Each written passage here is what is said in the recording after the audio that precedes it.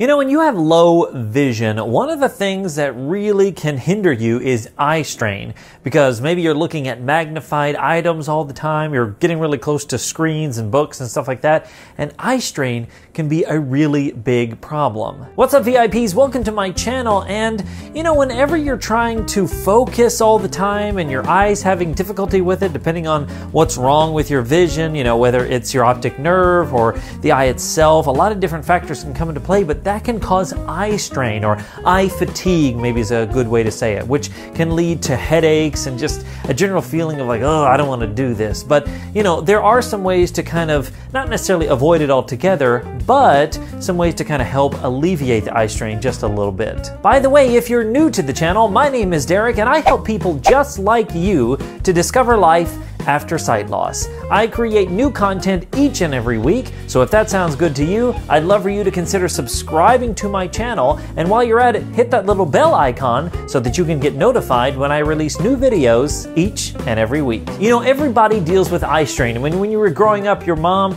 probably said, don't sit too close to the TV because, you know, your eyes will go bad. Or, you know, make sure that you don't cross your eyes because they'll get stuck like that. All those little things. We have eye fatigue, and it just happens, especially in our world with tons of screens that we're looking at, phones, tablets, computers all day long. We have eye fatigue, and that's normal. But it's especially true for those of us who have low vision, when our eyes are trying to focus and trying to see as much as possible with the limited amount of sight we have left. So I wanted to give you just a couple of tips on maybe not necessarily avoiding the eye fatigue, but limiting it as much as possible. The first thing I would tell you to do is to use uh, audio as much as possible. Now, obviously, if you're a visual person, if you need to see what you're doing to get it done, that can be a bit challenging, but use a screen reader whenever you can. For example, on my iPhone, I use VoiceOver all the time, and you know, I don't zoom in to see a whole lot, only if I have to, and that helps me avoid looking at the screen. Now, granted, I still look at the screen to kind of get, you know, a, a cue of where I'm at, but I try to use VoiceOver as much as possible.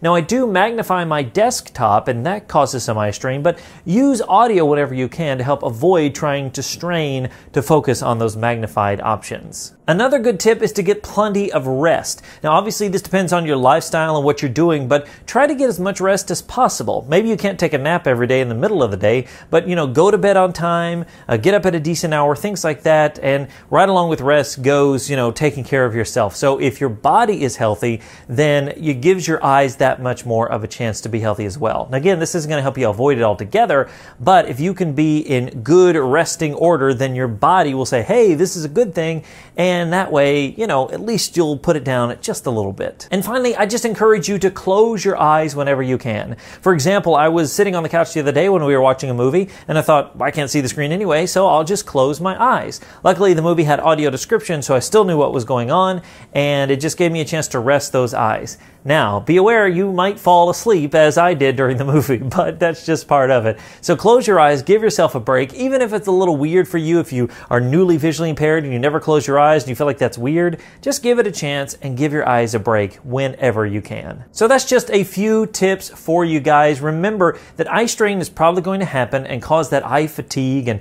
maybe a headache will come along with it, but just realize it's going to happen and be as prepared as possible for it. And take these few tips and others to help you avoid eye strain and eye fatigue as much as you can. All right, guys, now it is your turn. You've heard me talk for a little bit. Now I want to hear from you. My question for you today is this What is something that you do to help avoid or at least alleviate some of that eye strain and eye fatigue that you have in your life? Is it something I mentioned or something else? I'd love to hear about it, and I know others would as well. So let me know in the comments below. If you like this video, if you found it helpful, make sure to give it a big thumbs up, share it with somebody that you know, and subscribe to my channel so that you don't miss another single video. Thanks so much for watching, and until next time, remember that sight loss isn't the end, it's just the beginning.